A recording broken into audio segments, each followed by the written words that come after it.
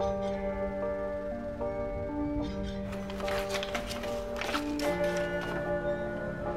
I only knew now what I knew then.